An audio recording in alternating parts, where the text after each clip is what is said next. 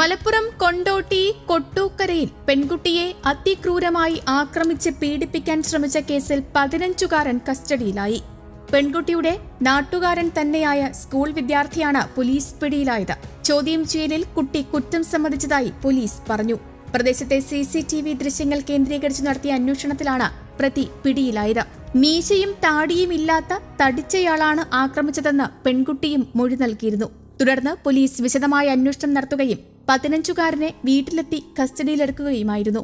ഇത് നമുക്ക് ഇന്നലെ ഒരു ഉച്ചയുള്ള സമയത്താണ് നടന്നിരിക്കുന്നത്. ഇതൊരു വിശദമായ ഒരു വഴിയാണ്. ഇവിടെ വെച്ചിട്ട് ഈ കുട്ടി ക്ലാസ്സിന് പഠിക്കാൻ കമ്പ്യൂട്ടർ ക്ലാസ്സിന് പോകാനായിട്ട് കൊണ്ടോട്ടിക്ക് പോകാനായിട്ട് വരുന്ന ഒരു വഴിയാണ്. ഈ മഡ് റോഡിൽ വെച്ചിട്ട് ഇവിടെ തന്നെ ഒരാളുകൾ തന്നെ ഒന്നും തന്നെ ഇല്ല. ഈ കുട്ടിയുടെ അറ്റംപ്റ്റ് നടത്തിയിട്ട് ഈ കുട്ടീനെ ഈ വാഴത്തോട്ടത്തിലേക്ക് വലിച്ചു കയറ്റിട്ടുണ്ടെന്നാണ് നമ്മൾ മനസ്സിലാക്കുന്നത്. കുട്ടിക്ക് ആ, ഇയാളെ ഐഡന്റിഫൈ ചെയ്യാനായിട്ട് പറ്റുന്നില്ല. കാരണം പേഴ്സണലി പരിചയമില്ലാത്ത ഒരു കഥാപാത്രമാണ്. പക്ഷേ ഇനി കണ്ടാൽ തിരിച്ചറിയുമെന്ന് പറഞ്ഞിട്ടുണ്ട്. അപ്പോൾ തന്നെ നമുക്ക് ഇതൊരു ട്രൂ കേസ് ആയതുകൊണ്ട് തന്നെ ഇങ്ങനൊരു സംഭവം ഈ അടുത്ത കാലത്ത് തന്നെ ഉണ്ടായിട്ടില്ല. അപ്പോൾ അതിനത്രയും നമ്മൾ പ്രാധാന്യം കൊടുക്കുന്നുണ്ട്. പെൺകുട്ടിയെ പീഡിപ്പിക്കാൻ ശ്രമിക്കുന്നതിനിടെ പതിനഞ്ചുകാരന്റെ ശരീരത്തിലും മുറിവുകളുണ്ടായിട്ടുണ്ട് കഴിഞ്ഞ ദിവസം തന്നെ നായ ഓടിച്ചെന്നും അപ്പോ നിലത്ത് വീണാണ് മുറിവുണ്ടായതെന്നുമായിരുന്നു കുട്ടി ആദ്യം മൊഴി നൽകിയത്. കഴിഞ്ഞ ദിവസം വീട്ടുകാരോടും ഇതേ കാര്യം തന്നെയാണ് പതിനഞ്ചുകാരൻ പറഞ്ഞത്.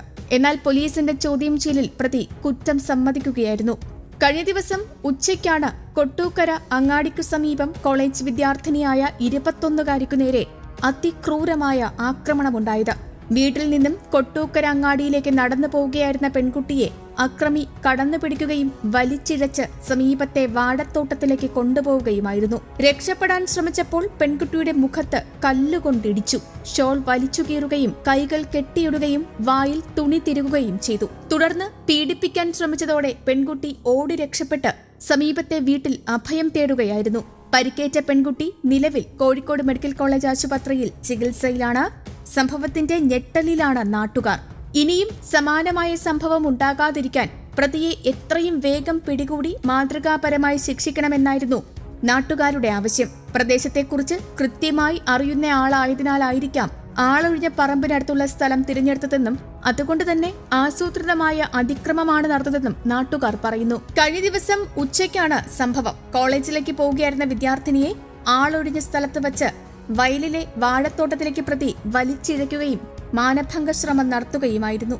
തലയ്ക്ക് ഗുരുതര പരിക്കേറ്റ വിദ്യാർത്ഥിനി കോഴിക്കോട് മെഡിക്കൽ കോളേജ് ആശുപത്രിയിൽ ചികിത്സയിലാണ്.